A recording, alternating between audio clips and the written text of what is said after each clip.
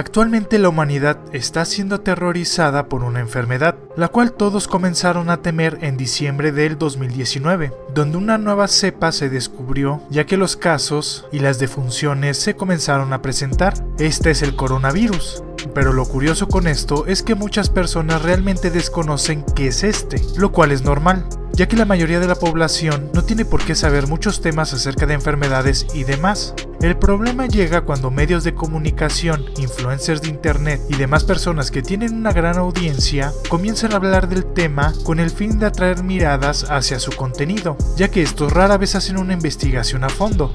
Lo primero que hay que contemplar es que esta nueva enfermedad, entre comillas, ya tiene mucho tiempo presentándose. Lo que es nuevo es la cepa, y se les olvida que hubo brotes peores de otras cepas de coronavirus, como lo fue el ya ignorado SARS, por lo que hoy hablaremos del coronavirus. Lo primero a definir es el agente infeccioso, el cual es un virus, como la terminación de su nombre lo indica, de la familia Coronaviridae, un grupo de virus que tiene un material genético ARN, el cual tiene 26 a 32 kilobases en su tamaño genético, lo que lo convierte en el virus más grande con este tipo de material genético. El coronavirus tiene una distribución mundial, es decir, se presenta en todo el mundo, y de hecho es uno de los causantes del resfriado común. Así es, en lo que se le llama de forma indiscriminada gripa o resfriado. Es provocado por diferentes agentes patógenos, entre ellos están algunos virus como este, por lo que ya es una pandemia. Lo que se ha visto es que algunas cepas un tanto más agresivas, las cuales se llegan a presentar por mutaciones de virus, comienzan en regiones localizadas y por medio de su periodo de incubación, el cual puede variar de 11 a 15 días. Este virus puede contagiar a, diferentes individuos y con ello tener una mayor extensión, por lo que es muy probable que tú ya hayas contraído esta enfermedad y no te hayas percatado.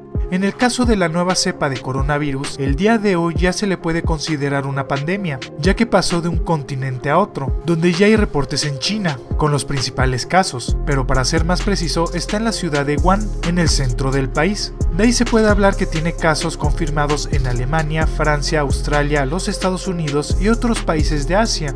Esto no es para alarmarse, pero sí los países tienen que tomar precauciones.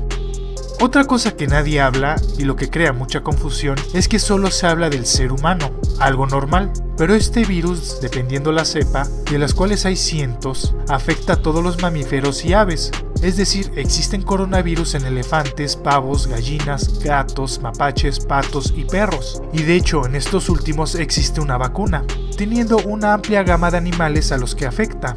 Algo que cabe aclarar es que son muy raros los contagios entre especies, pero sí se llegan a presentar. De hecho, el nuevo virus se teoriza que pudo venir de alguna serpiente enferma, donde este pudo haberse adaptado al ser humano de una mascota y al estornudar este contagió al propietario, o de una persona que pudo consumir carne de alguna serpiente enferma, o que existiera algún intermediario como el cerdo. Pero también existe contraposturas a este punto, ya que se asemeja mucho al que contraen los murciélagos. Ojo, esto no debe de crear un miedo a las demás especies, solamente son posibles orígenes. Si tú tienes una mascota no te preocupes, es poco probable que te enferme, solamente que si está enferma lo ideal es que la lleves a un tratamiento y tú te laves las manos cuando la manipules.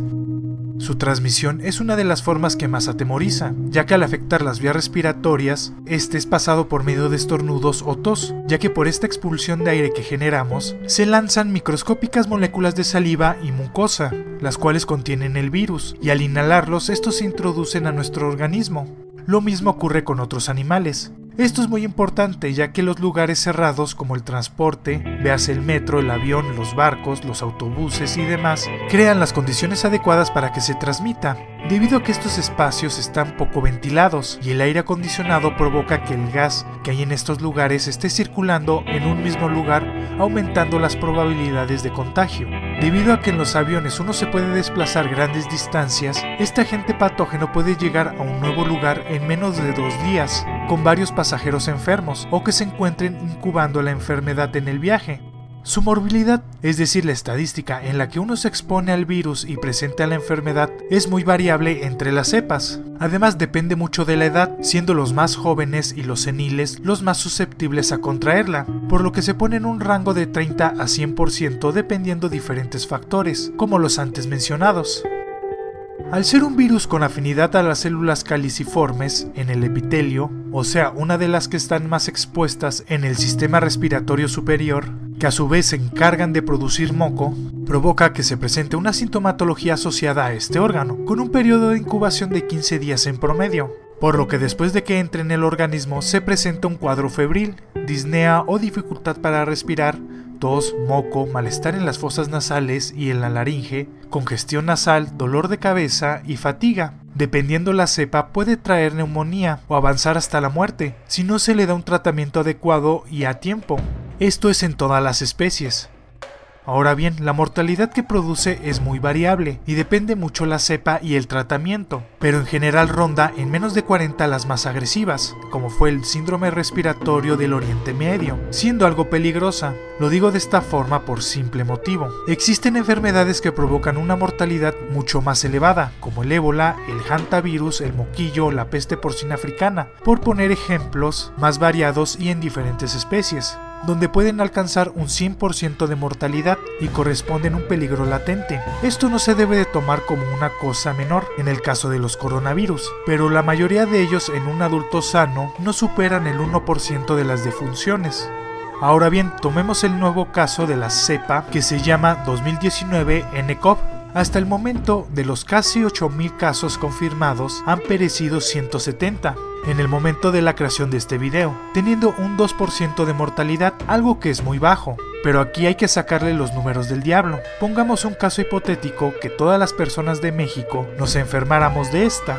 Teniendo una población de 120 millones de habitantes, estaríamos hablando que 2 millones de personas podrían morir. Comparada con otras más comunes y con menos mortalidad, tiene números altos que provoque una alta mortalidad y que se contagia de persona a persona es algo muy importante, donde se deben de tomar acciones, sobre todo por el fácil contagio.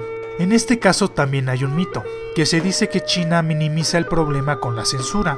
Si bien es cierto que China es muy estricto con ciertos temas, en esta ocasión lo pongo un tanto en duda, debido a que el gobierno ha trabajado estrechamente con la OMS y estos han proporcionado que esta nueva cepa se haya identificado muy rápido, por lo que me hace pensar que han sido muy abiertos en este tema. Además, no han ocultado antiguos brotes como el ya mencionado SARS genera una serie de problemas muy importantes. El principal es el riesgo latente que provoca y que genera una tasa de mortalidad variable.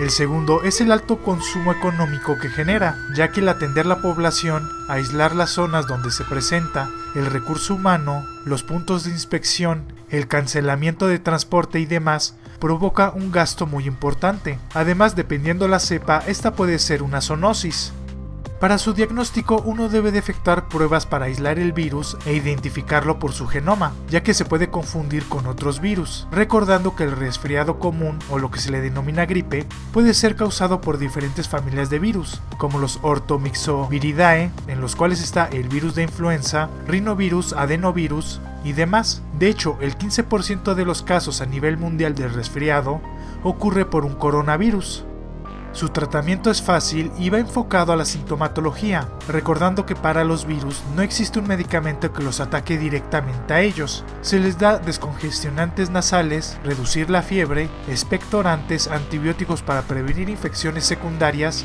ya que en la cavidad nasofaringea existe una microbiota importante que puede empeorar el cuadro todo esto con la finalidad de que el sistema inmunológico logre combatir la infección viral adecuadamente.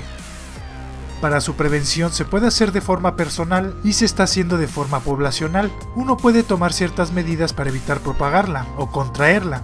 La principal es usar un cubrebocas cuando estemos en lugares cerrados, ya sea la oficina o el transporte público. Lavarse las manos después de estornudar o usar la técnica de cubrir el aerosol con la parte interna del brazo. No saludar de beso a una persona enferma y si uno se siente mal ir al médico mientras que los gobiernos están optando por limitar la entrada a los poblados y aislarlos para que con ello no se presenten nuevos brotes.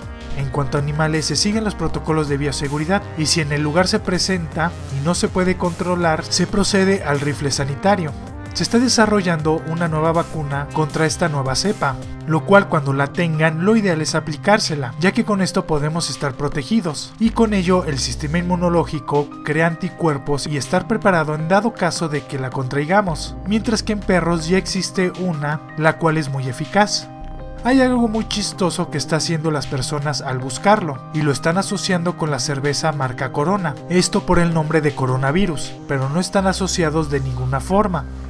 Una enfermedad que está causando mucho miedo a nivel mundial, sobre todo por la superexposición al tema, que sí, uno tiene que tomar precauciones, pero no dejar de tener nuestras actividades, lo cual como les dije es más común de lo que piensas, y muchos la hemos contraído la cual está presente en muchas especies. El problema viene con las diferentes cepas, con algunos virus que mutan.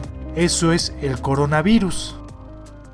Espero el video haya sido de su agrado. Si fue así, dale me gusta. Si conoces a alguien que le pueda gustar, compártelo en tus redes sociales. Y no olvides suscribirte si te gustan los animales. Si te surgió alguna duda, tienes alguna sugerencia o simplemente quieres comentar algo, no dejes de hacerlo en la caja de comentarios. Además, si eres muy fan de este canal, activa la campanita de notificaciones para ser de los primeros en ver los videos.